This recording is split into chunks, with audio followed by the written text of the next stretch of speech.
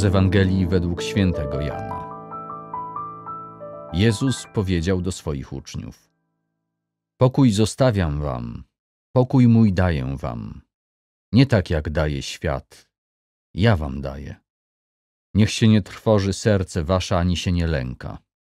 Słyszeliście, że wam powiedziałem: Odchodzę i przyjdę znów do was. Gdybyście mnie miłowali, rozradowalibyście się, że idę do Ojca, bo Ojciec większy jest ode mnie. A teraz powiedziałem wam o tym, zanim to nastąpi, abyście uwierzyli, gdy się to stanie. Już nie będę z wami wiele mówił, nadchodzi bowiem władca tego świata. Nie ma on jednak nic swego we mnie.